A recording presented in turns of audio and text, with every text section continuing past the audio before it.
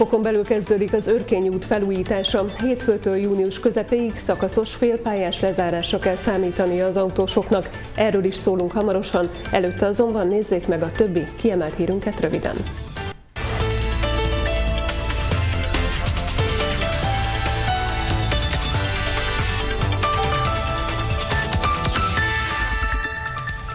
Takarítás és karbantartás készül a fürdő a nyári szezonra, hétfőtől öt napon át zárva tartanak. Gasztronómia és irodalom Dragomán György új szakácskönyvét mutatta be a könyvtárban. És újabb átcsökkenés a kutakon, holnaptól a gázolaj olcsóbb lesz, mint a benzin.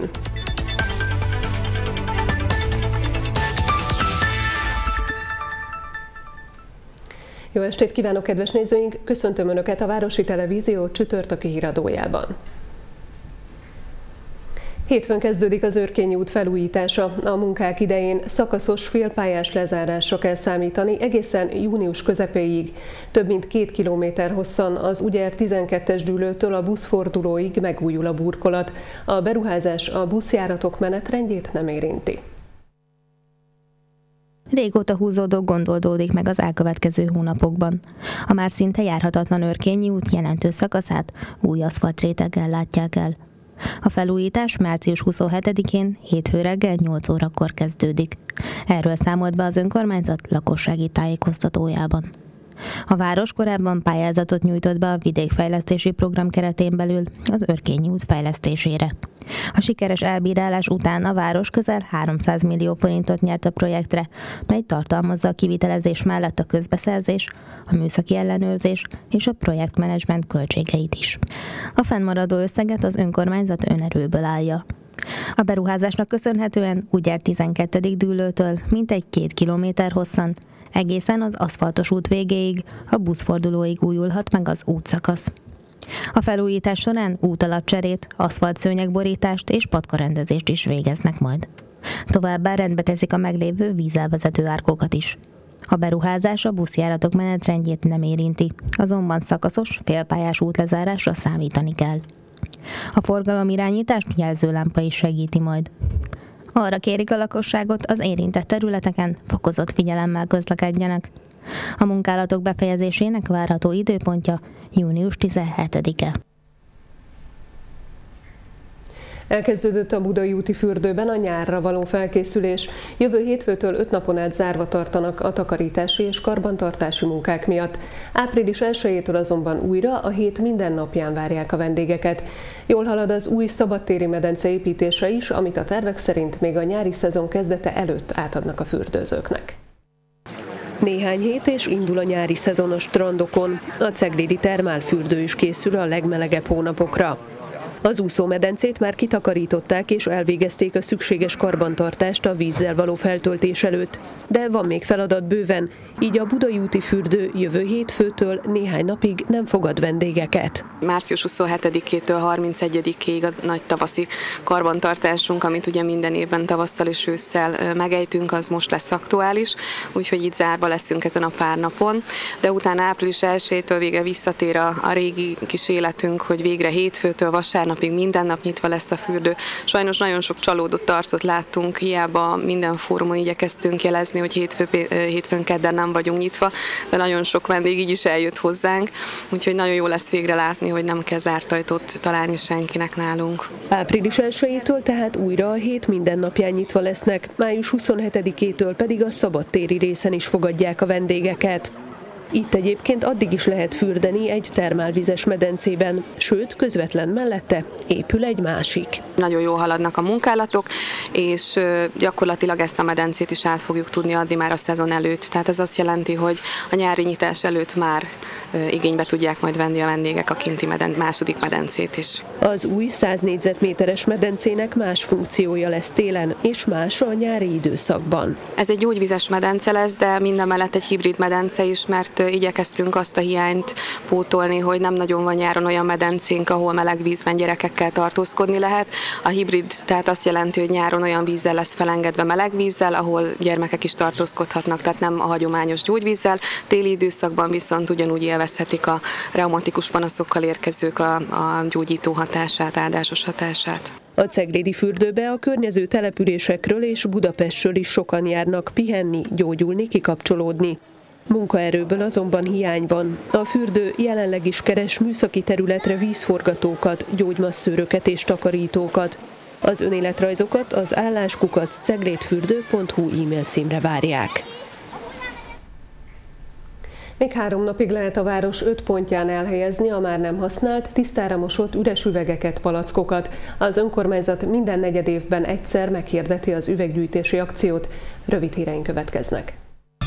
Még vasárnapig van lehetőség elhelyezni a feleslegessé vált üveghulladékot a város öt pontján elhelyezett konténerekben. A gyűjtőpontok most is a piac Árpád utcai kapujánál, a Gubodi Parkban, a Mizsei út Sáska utca sarkánál a volt kenyérgyár mellett, a Balcsi Zsirinszki téren a volt Ökovíz épülete mellett, valamint a Vagbottyán utca és Szolnoki út sarkán a Hubertus Parkban találhatók. Arra kérik a lakosságot, a konténerekbe kizárólag tisztára mosott üveghulladékot tegyenek. Meghosszabbították a jelentkezés határidejét az idei utcazene fesztiválra, mely hagyományosan a Városnapok rendezvénysorozatot nyitja majd április 30-án. Mint minden évben, idén is zenekarok, formációk, egyéni előadók és olyan tehetséges fiatalok jelentkezését várják, akik úgy érzik, művészeti tevékenységükkel hozzá tudnak járulni a rendezvény sikeréhez. A válogatón zsűri dönti majd el, kik lesznek azok, akik a város több pontján szórakoztatják a közönséget. Arról pedig idén is szavazhat a közönség, hogy ki legyen a fődíj nyertese. Nevezni tehát március 30-ig lehet, a jelentkezés részleteiről pedig bővebben a Ceglédi utcazene Facebook oldalán tájékozódhatnak filmkultúra népszerűsítése és a filmkészítés ösztönzése céljából idén is meghirdette a Ceglédi Televízió és a George Park Filmszínház az évről évre egyre népszerűbb Ceglédi Filmfesztivált. Immár hetedik alkalommal várják a lelkes és tehetséges filmkészítők nevezését. Ezúttal is gyermek, ifjúsági és felnőtt kategóriában indulhatnak a jelentkezők. Nevezni nem csak egy, de akár több 25 percnél nem hosszabb filmmel is lehet. A téma nincs meghatározva, így bármiről szólhat az alkotás, amely lehet kisjátékfilm, animáció, de akár dokumentumfilm is. A szervezők május 6-ig várják a készműveket. Az eredményhirdetés május 20-án a filmfesztiválon lesz. Akkor hirdetik ki a kategóriák nyerteseit, illetve a közönség ingyenesen meg is nézheti a filmeket. A jelentkezés szabályairól és részleteiről bővebb információt találhatnak a Ceglédi Filmfesztivál Facebook oldalán.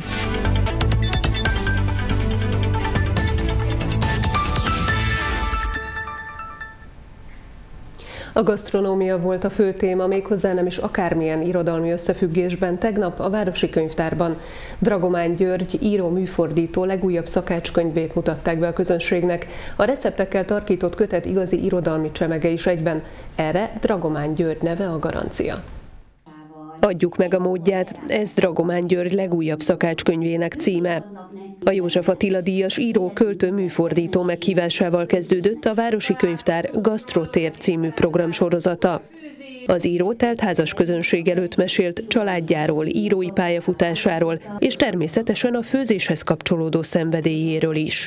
Ez gyerekkorom úgy tette, hogy főz, fő, fő, a konyhában zajlott az élet, mindenki főzött. Dragomán György az egyik legnépszerűbb kortársíró. Fehér király című könyvét 32 nyelvre fordították le. Jellegzetes írói stílusa magával ragadja az olvasót.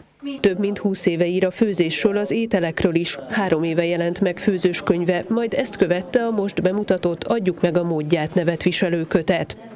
A könyvben izgalmas alapanyagok felhasználásával készült finom ételek receptjeit is meg lehet találni. Az én feladatom meg az, hogy megírjam, hogy ezeket hogy is kell tulajdonképpen úgy használni, hogy utána aki ezt elolvassa, az azt érezze, hogy á, ő is már használta, vagy ha nem, akkor, akkor, akkor biztos, hogy használni fogja, mert én próbálom úgy megírni, hogy, hogy olyan történet legyen ez, mint egy novella, aminek az olvasó a főszereplője, vagy ha én vagyok a főszereplője, akkor az olvasó azt érezhesse, hogy bele, belebújik a bőrömbe is. És hát er, er, erről szólnak ezek a könyvek. Legújabb könyvében hol vicces, hol szívbe markoló családi történeteket is olvashatunk. A kiváló receptek mellett pedig megtudhatjuk azt is, milyen szenvedély köti Dragomán Györgyöt a főzéshez.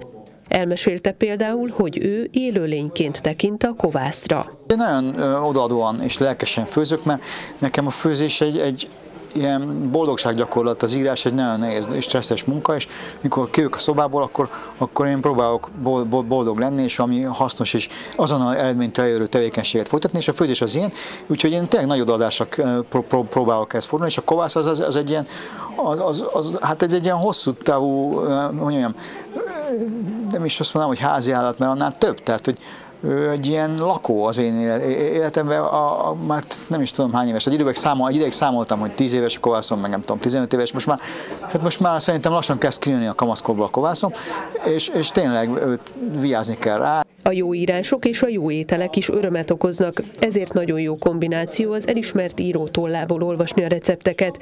Vallják mindazok, akik már olvasták Dragomán György főzős könyveit. Az író egyébként folyamatosan kísérletezik a konyhában, így aztán szakácsköteteinek száma is bővülhet még az elkövetkező években. Hat város turinform érkeztek vendégek tegnap Ceglédre. A turisztikai szakemberek körbejárták a várost, megnézték a nevezetességeket. A cél, hogy saját maguk is lássák, megtapasztalják, miért is érdemes úti Ceglédet ajánlani. Csodás tavaszi idő fogadta a mezőtúrról, Debrecenből, Kiskunfélegyházáról, Csongrádról, Bükkfürdőről, Szegedről és Ráckevéről érkező turisztikai szakembereket tegnap városunkban. A Magyar Turisztikai Ügynökség által meghirdetett bónusz feladatra jelentkezett Cegléd. Ennek keretében hívta vendégségbe más városok túrinformosait a Ceglédi iroda. Minden ember fontos, aki városunkba látogat, de azért kiemelten fontos a turisztikai szakemberek látogatása, hiszen ők azok, akik saját városukba, térségükbe vihetik Cegléd jó hírét, mert a tapasztalatok szerint így lesz. Jól érezték magukat nálunk. Ugyanazokat a, a visszajelzéseket tapasztaltam, mint mondjuk egy átlagos turistánál, aki bár már megtekintette mondjuk a, a népszerűbb destinációkat, nagyobb városokat, Szeged, Debrecen, vagy akár itt a közelben Kecskemét is, hogy elcsodálkozik azon, hogy Szegléd is mennyi értékkel rendelkezik, és milyen szép a belvárosa. Úgyhogy szakmai szemmel is pozitív visszajelzéseket kaptunk, úgyhogy a kollégák folyamatosan kérdezgetnek, ami hát megint csak arra utal, hogy felkeltette az érdeklődésüket a város. Az ország túrinform irodái között egyébként is nagyon jó az együttműködés, és a hasonló programok még tovább erősítik. Hasznos és fontos a folyamatos tapasztalatcsere, például erre is jó volt ez a nap. A Debreceni Túrinform iroda munkatársa láthatóan nagyon jól érezte magát Cegléden. Rendszeresen utazik ezen a vonalon vasúttal. De itt csak a vasútállomást ismerte, és persze az ott álló mozdonyt, amit minden alkalommal megcsodál. Ezért is örült nagyon a lehetőségnek, hogy a várost magát is megismerheti. És mivel idegenvezetőként is dolgozom Debrecenben, és azért a forradalom és a szabadságharc Debrecenhez is szorosan kötődik, én úgy voltam vele, hogy ez most egy remek lehetőség, hogy picit jobban megismerjem ezt a várost, mert én úgy gondolom, hogy Magyarországon rengeteg olyan hely, rengeteg olyan érték van, ami érdemes arra, hogy sokkal többet tudjunk róla, és az ember ugye holtig tanul, pláne egy jó turinformos, akinek azért tudni kell tájékoztatást adni a Debrecenbe betérő helyieknek is, akár, hogy hova érdemes az országban elutazni, úgyhogy én, nagyon-nagyon örülök. A Debreceni Túrinform iroda munkatársaként a feladata, hogy élményeket ígérjen a hozzájuk fordulóknak, igazán szívből pedig akkor tud ajánlani egy-egy várost, ha ő maga is jól érezte magát. Itt például igen, visszahívja Cegléd.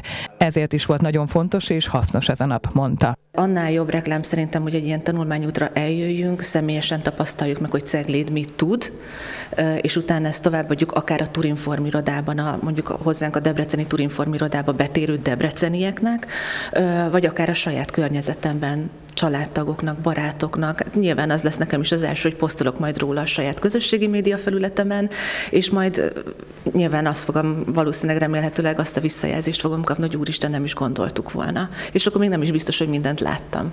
Az egynapos látogatásba egy városi sét, a minikoncert a Bachorgonán, a Kossuth Múzeumban, valamint a Budai úti szállodában és a fürdőben tett látogatást fért bele, vagyis bőven maradt még látnivaló, amiért érdemes visszatérni. Holnaptól újra csökken az üzemanyagára, a gázolaj literje kerül majd 8 forinttal kevesebbe, ami azt jelenti, hogy péntektől átlagosan 605 forintért lehet gázolajat tankolni, a 95-ös ára egyelőre nem változik, marad a 607 forintos szinten. Péntektől az a helyzet áll elő a magyar üzemanyagpiacon, ami már nagyon régen volt, vagyis hogy a gázolaj olcsóbb lesz, mint a benzin. Ez annak köszönhető, hogy holnaptól jelentős árzuhanás jön a gázolaj esetében. A 613 forintos literenkénti ár 8 forinttal csökken, azaz átlagosan 605 forintért lehet majd tankolni. A benzinára most nem megy lentebb, marad átlagosan 607 forint. Viszonylag nagy különbségek is lehetnek egyes benzinkutakon az árakban, ezért érdemes körültekintően tankolni. Ezzel a hírrel köszönöm meg figyelmüket. A most következő háttérben a Madács Imre születésének 200. évfordulójára rendezett programból mutatunk összefoglalót. Az ember tragédiájából láthatnak részleteket a Patkos Irma Művészeti Iskola két tanára, Szilágyi Diana és Mahalek Gábor rendezésében.